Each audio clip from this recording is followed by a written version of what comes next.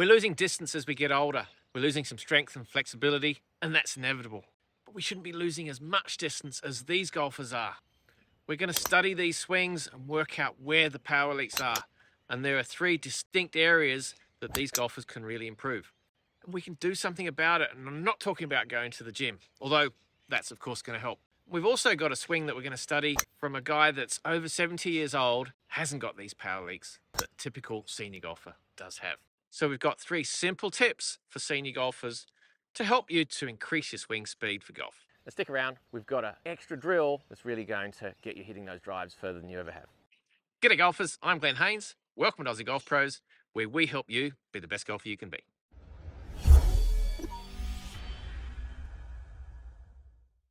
Let's have a look at these senior golfers hit their drivers. The first thing we notice is their feet are very stuck. They're very static. There's not a lot of footwork going on there. I don't believe this is a flexibility issue. I believe this is a balance issue. We don't want the stance too wide. Shoulder width apart is plenty, but here we really need to get used to being on one foot at a time. So just a little motion like that, just to get used to having your balance on one foot at a time is really going to get you used to moving your feet a lot better during the golf swing, especially with the driver. So I've got a nine iron, teed the ball up. We just want to make this nice and easy. And we're going to do a, a little step drill. So we've seen Padraig Harrington do this loads of times. So set up to the golf ball as normal. As I said, I've just got a nine iron, step back and step into it. Let's get the feet moving. By starting back here and then getting used to actually stepping, then you're gonna shift a lot better weight in the shot, be more mobile, and that's really gonna help you increase your swing speed with much less effort. If our feet are stuck wide here and we're playing like we've got eight inch nails in our feet, then the arms and shoulders are going to be doing all the work and that's going to really cost us a lot of club head speed, especially as we start to lose strength. The second thing that we notice about some of these golfers is that they sway a lot. They're trying to generate some power by transferring their weight, but it's all upper body sway, and that's a really slow motion. That's going to cost a lot of club head speed. In the golf swing, we want to rotate backwards and forwards. Here's a little motion to help you get the feeling of turning. Get into golfing posture, put your arms out in front of you, and get into the backswing, pull your trail arm behind you, and then return the other way, get into that follow through. So by getting your arms going backwards and forwards behind you here, make sure you're rotating your hips and your trunk into the backswing, into the follow through. See, there's no sway going on. So it's centered behind the golf ball and backwards and forwards.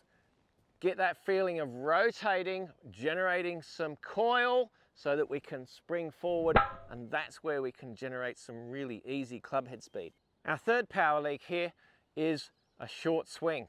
And I'm not necessarily talking about a backswing. Of course, that's to do with mobility. But I'm talking about this follow through, this stopping finish position here. It's like there's a tree in the follow through. We've got to complete the follow through and I don't blame a lack of mobility for this. A lack of commitment.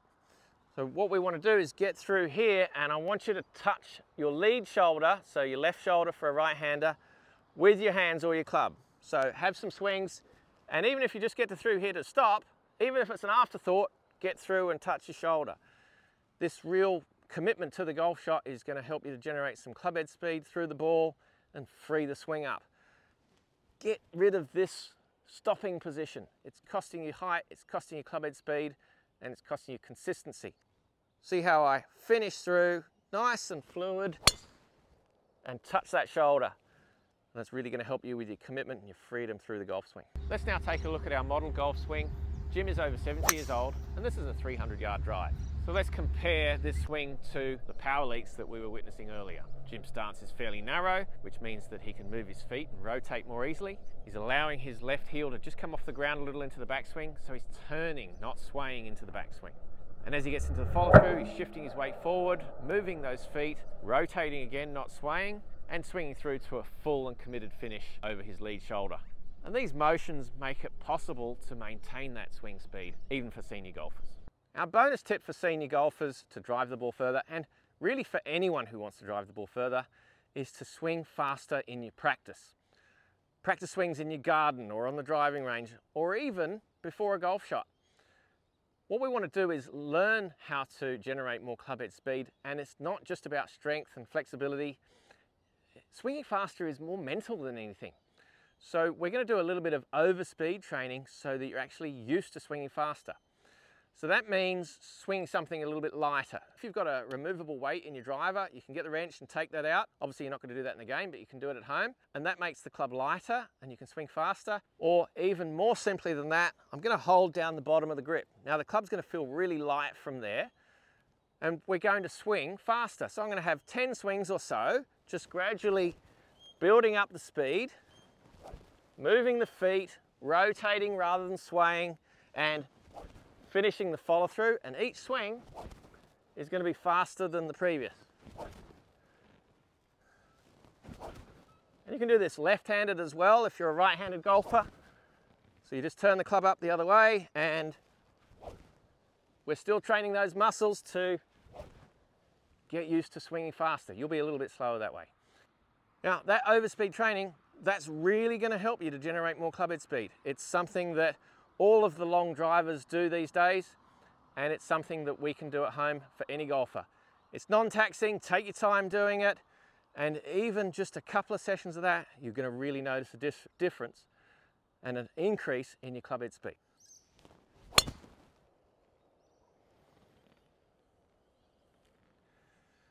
Guaranteed.